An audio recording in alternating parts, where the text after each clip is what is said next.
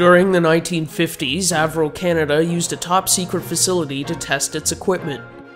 Located in an area called Point Petre in Prince Edward County, the facility also tested Avro Arrow models that were used to develop the ill fated Avro Arrow. Now, 60 years later, I wanted to find these abandoned Avro test facilities. Our adventure begins in the southwest part of Prince Edward County. Here, there is an active military installation, so there's no trespassing. Walking along the shoreline of Lake Ontario, where Avro would have fired the Avro test models, we came across some old ruins and traveled through thick underbrush.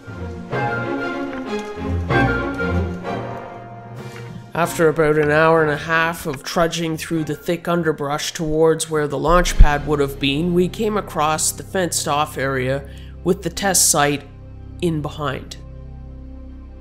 This satellite image shows clearly where the old test pad would have been near the lake where these Avro Arrow models were fired from.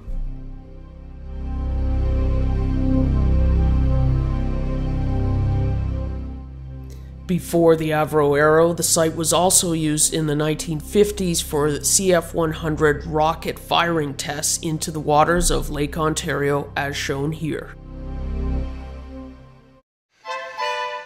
Not much remains other than some old concrete ruins, but a curious other facility was seen on Google Maps that turned out to be a rocket and missile anti aircraft training base during the Cold War.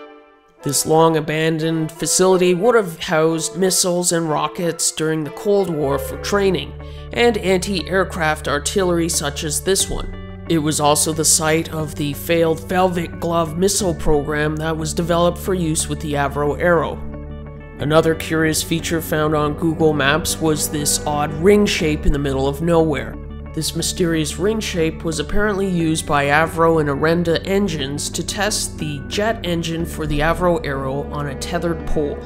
Only accessible by foot, we trudged through some thick underbrush to see this abandoned piece of Canadian aviation history. And soon we broke through the trees, and there it was, the Orenda Ring. After 60 years, this concrete and asphalt facility is still quite visible. The asphalt circular track was still there, and investigating towards the center, we found the original tether post.